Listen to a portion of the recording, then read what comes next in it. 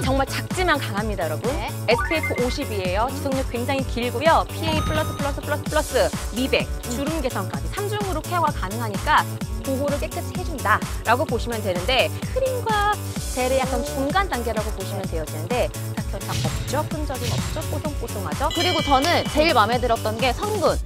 EWG all green 등급이에요. all. 어. all! 그리고 all. 또 중요한 게 중요한 거. 자차. 발랐을 때 흡수되는 게 아니라 이게 코팅막처럼 이렇게 씌워져가지고 빛을 이렇게 차단. 이렇게 피부에 굉장히 순하대요. 순한 성분이기 때문에 눈에 들어가도 안 따갑고. 그리고 또 여기 안에는 연어 DNA가. 피부 탄력에 도움이 된다는 거.